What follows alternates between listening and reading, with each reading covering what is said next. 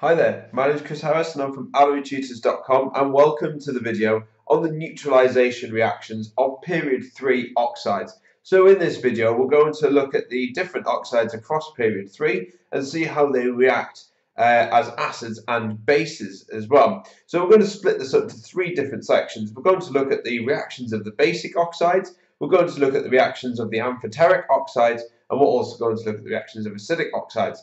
So we're going to start on the uh, left-hand side of the board, and these are basic oxides. These are ionic compounds, so these are things like sodium oxide and magnesium oxide.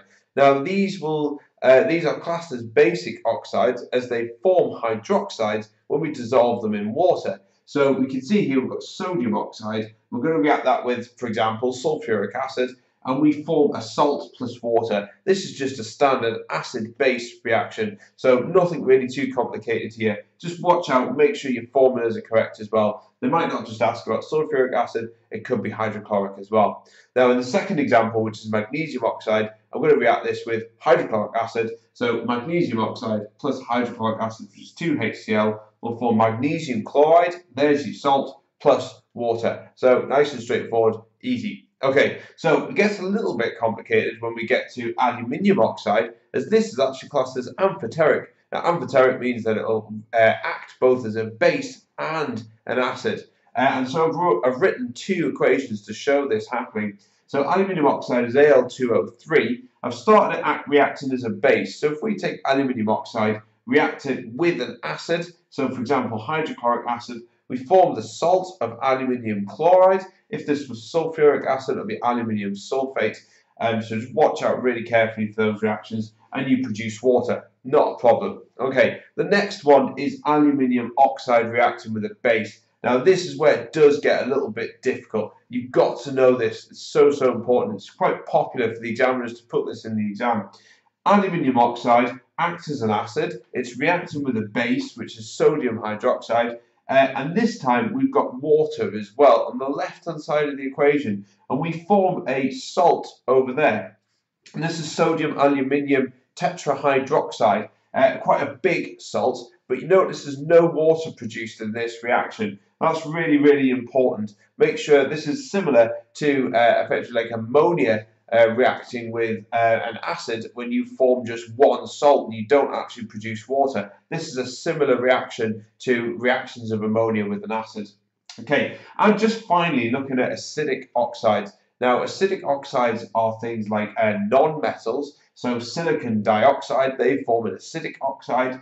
Um, so silicon dioxide uh, plus a base because it's acid and react with a base and it will form a salt, in this case sodium silicate, Na2S, uh, SiO3 and uh, reacts with water. Now this is very similar to uh, how you might produce um, uh, calcium silicate from a blast furnace and iron, except you would use calcium hydroxide instead of sodium. Okay, and the next one is phosphorus oxide or phosphorus pentoxide. So P4O10 can also be written as P2O5, that's why it's called phosphorus pentoxide.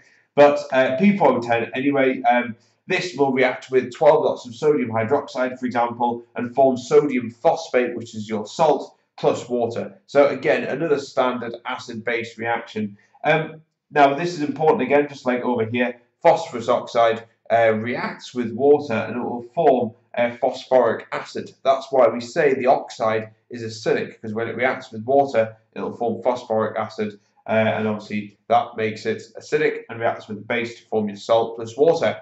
Okay, looking at the last final two here. Now this is sulfur oxides uh, and there's two types of sulfur oxide. We've got sulfur dioxide and sulfur trioxide as you can see here. Now the sulfur dioxide can react with two lots of sodium hydroxide to form sodium sulfate, uh, sodium sulfite, uh, sulfite, yeah, Na2SO3 plus water. Now you can actually uh, break this up into two separate uh, equations as well, so you've got to watch out for that. So if I react sodium, uh, sorry, sulfur dioxide, and I react that with one mole of sodium hydroxide, what will form is sodium uh, with this sodium compound here, which is NaHSO3. Uh, and um, just make sure that you don't actually form any water on that one there as well. So just make sure you know what the examiners are asking.